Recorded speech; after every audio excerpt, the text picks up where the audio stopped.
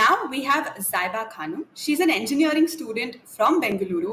She's a cleft, proud individual and a truly inspiring young soul. So let's hear from Zaiba, who believes ki her cleft, that is her uniqueness and that makes her stand out, which is something everybody today has spoken to us about. Hannah, they've all mentioned this. So now let's hear from Zaiba. Zaiba, welcome to CleftCon 2022.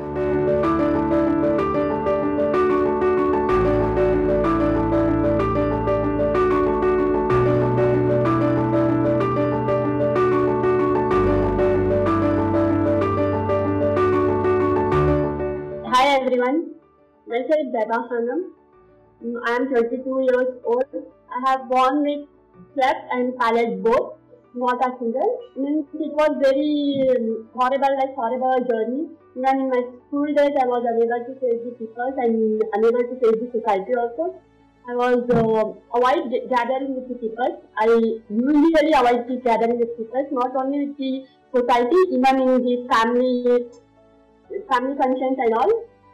So later mm, I got under mm, later I got to the surgery.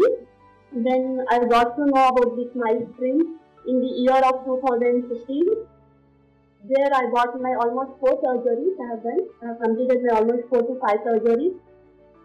Smile train gave me this confidence to face the world as I was grow. They are not just treating me physically, but they was also treating me mentally. Not only me, they were they was also means preparing my parents and my family members to feel like a normal, behave like a normal, so that I should feel proud on myself.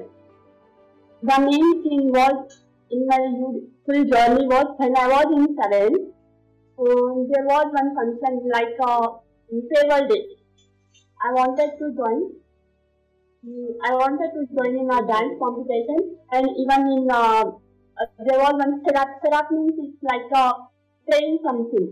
So because of my voice, I was unable to speak properly. My words was not proper. Proper like uh, was unable to pronounce. The words which are there, like K, G and all that words was I was unable to pronounce properly.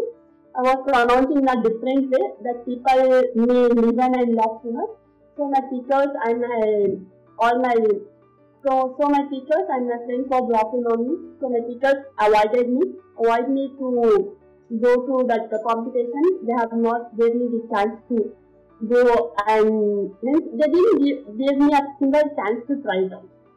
So later means past few years I was unable to face. So now I am confident, confidently face to the world I can go anywhere, I can speak, I can I can go to job.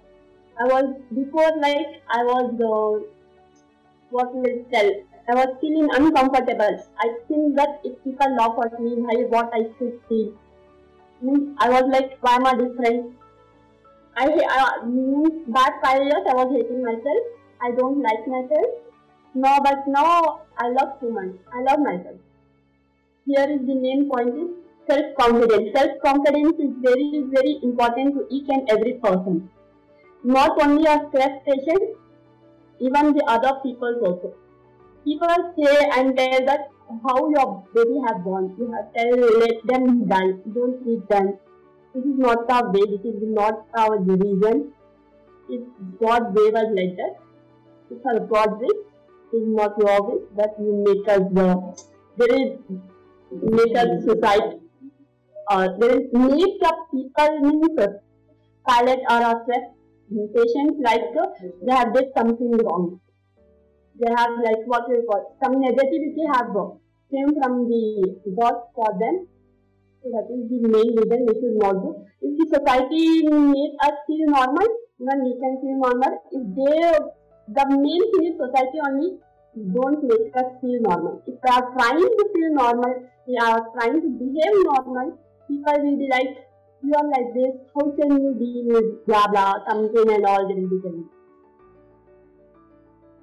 So because of this smile train, now I am very much confident and happy, not only me, even my parents, my father, my mother, even my family members, everyone, they are all thanks to smile train, smile train members and smile train team.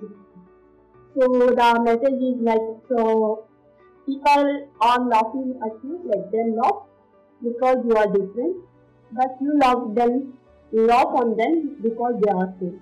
Because what they do are different, are different kinds. Everyone gives you a thing. Everyone get a single chance at single face, but you are getting three to four faces. At least two faces everyone will get as a fresh patient. Even I got three faces. When I was born, I got a different. At least for uh, 15 years, I, I have a different face. Then after going to surgery, my face was changing randomly. At least every year my face was changing. Now this is my permanent face. People are spending too much amount for their facial surgery, for their nose surgery and many more. But we are not spending that because God are giving us a natural surgery. Like we are getting different different cases for each of after each surgery.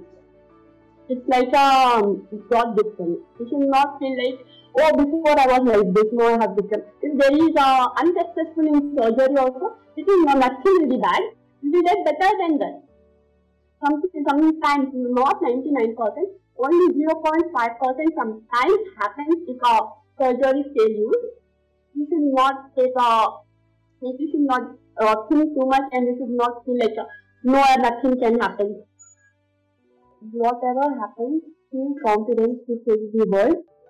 Whatever it is, if you are failure, if you are successful, each and every person in our world, there are failure in some part of their life.